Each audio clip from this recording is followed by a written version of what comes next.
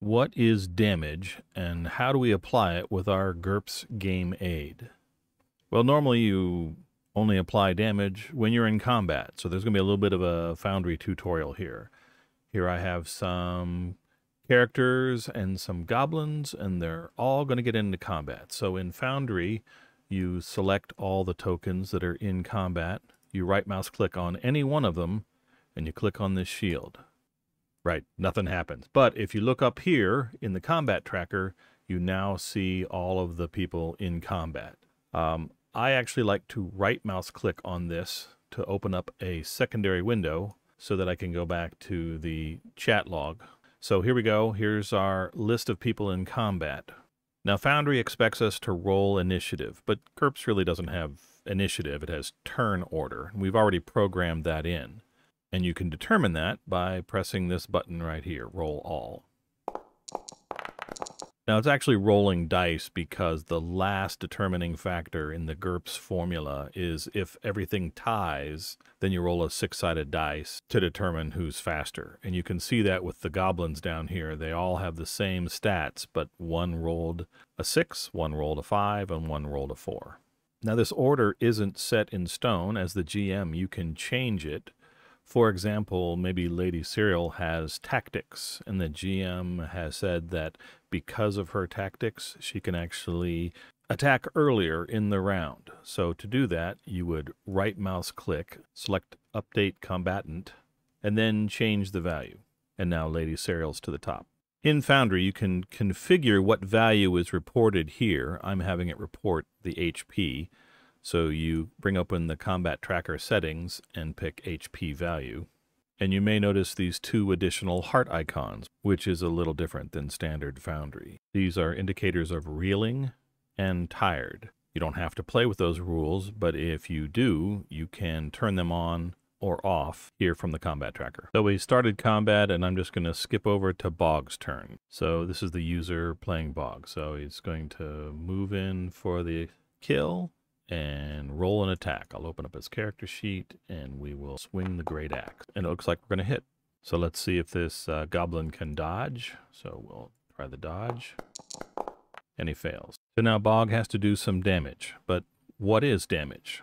When you're sitting around a table, damage is just some number the GM tells you and you scratch it off your character sheet, which you can do in the game aid your character has this little counter right here for hit points and fatigue points, and you can use the buttons to move it up and down. You can click in it and type in any number that you want. You can use the little quick buttons here to move up and down.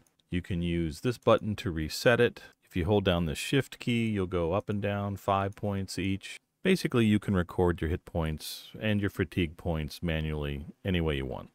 So how do you know how many points to remove? Well, the GM will usually tell you, and they might do it through a Foundry macro.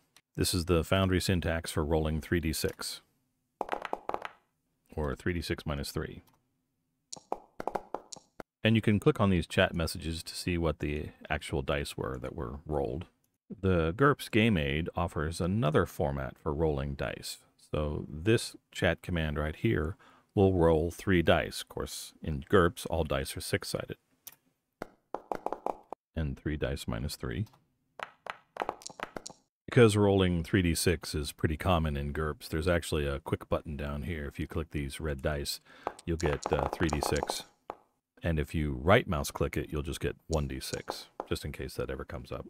The one major difference between the chat formulas is that our game aid format allows you to describe the damage type. And GURPS has this well-known list of damage types. And by telling it that it is this kind of damage, you'll get a slightly different chat message.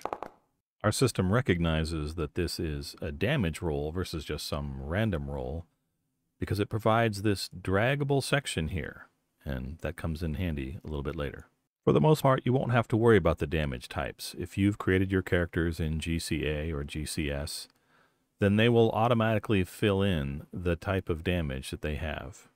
And the user can just click on this and roll this as damage. So Bog's going to roll as damage, but we play with the extra effort rules, and he likes to do the mighty blow when possible. You can get the modifier down here in the modifier bucket right there, plus two damage mighty blow, but he uses it so often that I just decided to add it as an on the fly formula to the weapon itself. So I don't even have to go down there. And to do that, I just double clicked on the weapon and added the on the fly formula for the Mighty Blow. So Bog is going to do his damage. He's going to add the Mighty Blow, and you can see the modifier in the modifier bucket, and then he's going to roll damage.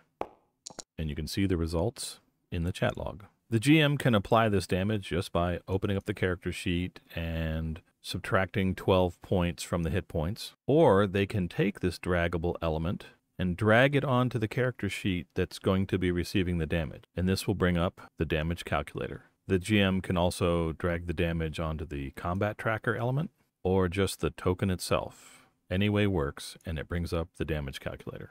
And there is a fifth way that the GM can apply damage to a target, but it requires some help from the player. So here I am controlling Bog, and I'm going to do some combat, but the character sheet keeps getting in the way. I'm going to take my most used rolls and actions and put them on the macro bar. So I'm going to drag the attack to here. I'm going to drag this modifier to there, and I'm going to drag the damage to there. And now I can close my character sheet and I'm attacking this goblin right here, so I want to use Foundry's tool for targeting it. So to target this in Foundry, you double right click. There, it's targeted. And I'm going to roll my damage. Again, I add the Mighty Blow, and then roll damage. From the player's side, it looks about the same, although you can see it shows targeting Goblin 4. And on the GM side, it has the same kind of damage, but there is now this button, Apply All to Goblin 4. So this makes it easier for the GM. The GM doesn't have to figure out how to drag it over or which token to drag it on. They can just click this button. So here is the damage calculator. Yeah, it's kind of big and forbidding, but we can take it in steps and you only have to use what you want. So to start off, we'll look at the top. We're doing 12 points of damage. Well, as the GM, you can just edit that. You can just say, you know what, that was really only 10. It's up to you. We're applying it to hit points, or you can select fatigue points, or control points if you use Douglas Cole's fantastic dungeon grappling. The link's in the description. And if you define your own resource trackers and set them as a damage type, they'll appear in this list. So you want to keep it simple. You would just click on the apply button and that would apply 10 points of damage to this goblin. Of course, apply means that it will show publicly in the chat log. And you may not want that to happen. You may not want your players to know exactly how much damage made it through and how bad they're feeling. So instead, you can apply quietly. And that will still report the information, but it's just a whisper to the owners of this target, which, of course, is just the GM since it's an NPC. So we'll apply quietly. And you can see in the chat log that uh, Bog injures the goblin for 10 hit points. You can also see that the goblin is reeling because I have the automatic reeling and tired setting turned on.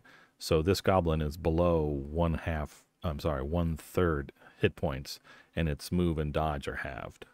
Poor goblin. Okay, that was the simple damage. Well, let's uh, show you what it looks like if you apply more of the GURPS rules. First, let's go back to this goblin and reset their hit points. You'll notice that they are no longer reeling. And then we will drag the damage and do some damage. So we'll start from the left. By default, all attacks hit the torso. If the user has selected a hit location and they succeed, then you will have to pick that hit location. You notice with this NPC, they only have DR in the torso. That's because the Mook generator only creates DR at the torso location. If you need to have DR anywhere else or everywhere else, you can just go down here to the override DR and say, okay, this has got two in all of the locations. The next thing we try to do is figure out what kind of damage, what type of damage is coming in, and we read the text that came with the attack, in this case, cut. Now, as the GM, you can override this. If for some reason the damage was incorrect or you want to just change it to something else, feel free to do that. You can also just override the modifier and make it anything you want. And we'll leave the stuff on the right here alone for a minute. And if you look at the bottom, you see the calculation. And this is the stuff that a lot of GURPS players kind of, um, well, let's say abhor. the math can get nasty sometimes. We have broken it out to show you exactly how it's calculated and then what the final result will be, which is over here on the right. And like above, you can apply the injury or apply it quietly. The keep open options are in case you're doing multiple damages to the same character. It's more for weapons with high rates of fire. Now, in the middle of the calculation and results page, we show some notifications. And what we're telling you is that if the goblin takes this much damage, they would suffer shock. Now, you may not want to display this information to the player characters, but if you want, you can click on these chat icons and it will chat out a message describing what these statuses are. So, if this was an attack against a player character, you could press this button and it will write this message out. And it's just a reminder for them to take the minus four if they're doing any dex or IQ checks next round. And here is an area where we will not automate this. This is really up to you to play the game your way. You're not required to use these, and these are just reminders. Here's an example if the goblin took this damage, it would be considered a major wound. And you can send this chat message out, which has a roll to check your health to see if you avoid stun. You get various modifiers if you have either of these two attributes. But again, we don't check your character. This is up to you to decide how to use it. One of the last things I want to show you is the hit location modifiers. By default, this is turned on, but there's a system setting if you want to have this by default turned off. And what this does is if you attack a different hit location, sometimes the modifiers change. Like right now, cutting is one and a half times damage after DR. But if you attack the eye, you'll notice that the modifier is times four. And that's because of the hit location. If you don't want that to occur, you turn this off and it goes back to the the default wounding modifiers. Now, all of the rest of these options, these are all special situations, and we have the links to explain the rules, and then we do the math for you. Now, you can just close this dialog, and no damage will be applied. You can drag it and drop it again, and no damage will be applied until you do one of the applies. If we just go with the default rules, it hits the torso, it's cutting, uh, eight points penetrate, then it's multiplied by one and a half. That's 12 points of injury. That's shock and a major wound. Well, we'll apply it. And you can see over here that because we did the full math damage and not the simple damage, you can actually see the damage calculations in the chat window. By default, this is closed, but there's a system setting that will make this by default open and our goblin is reeling yet again. As the GM, I have to remember that this was a major wound. So if we play with those rules, he needs to make a health check to see if he's stunned. If you don't want the players to see the results of this roll, you can hold down the shift key when you're clicking on any of these buttons, and it will be a private message to just you. The characters just see Game Master privately rolled some dice. And if you don't like your players knowing when the GM makes a private roll at all, then there's this great module, Hide GM Rolls, that will hide the chat messages for the players for any private GM roll. So that's the end of Bog's turn. You can see in the combat tracker that Goblin 4 has the less than one third hit point flag turned on. He's reeling. His current hit points are minus two, and he's in bad shape.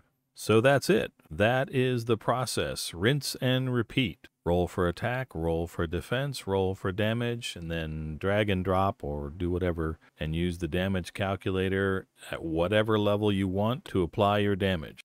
Good luck, and thank you for watching.